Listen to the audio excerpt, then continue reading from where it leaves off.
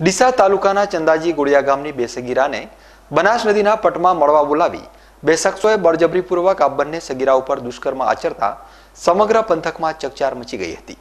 ફરિયાદી સગીરાએ ડીસા તાલુકા પોલીસ મથકે એ બે શખ્સો વિરુદ્ધ પોક્સો એક્ટ દુષ્કર્મની ફરિયાદ નોંધાવી છે. ડીસા તાલુકાના ગાડા ગામે રહેતા સતીશ દરબાર અને અજમલસિંહ દરબાર, જેમાં સતીશ દરબાર ડીસાના ચંદાજી ગોળિયાની સોળ વર્ષીય સગીરાને મિત્ર ભાવે અવારનવાર રૂબરૂ તેમજ ફોન ઉપર વાતચીત કરતા હોય ગત મોડી રાત્રે સતીશ દરબારે ગામની સીમમાં બનાસ નદીના પટમાં મળવા બોલાવતા સોળ વર્ષીય સગીરા અને તેની ચૌદ વર્ષની બહેન બનાસ નદીના પટમાં મળવા ગઈ હતી.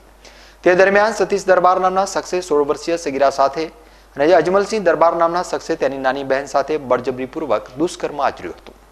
ત્યારબાદ આરોપીઓએ આ બંને સગીરાને વાતગુપ્ત રાખવાની ધમકી પણ આપી હતી.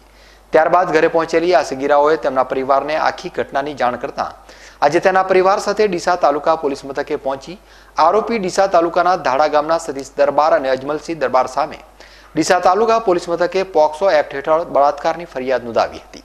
પોલીસે આ બંને આરોપીને પકડવા ચક્રો ગતિમાન કર્યા છે. ડીસાથી બીકે ન્યૂઝ ચેનલ માટે હરેશ ઠાકોર.